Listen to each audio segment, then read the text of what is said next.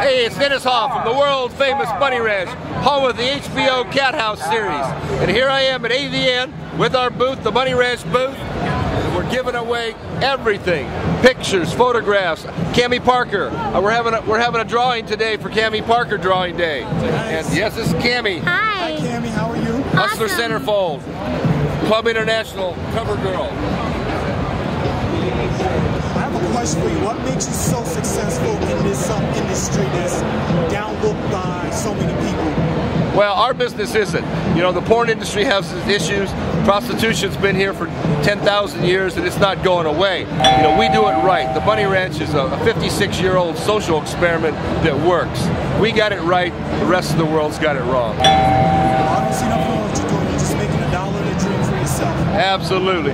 Cami's providing a quality service. Look at this. Is this quality? Yes. Cami's like In-N-Out Burger. Quality you can taste. Mm.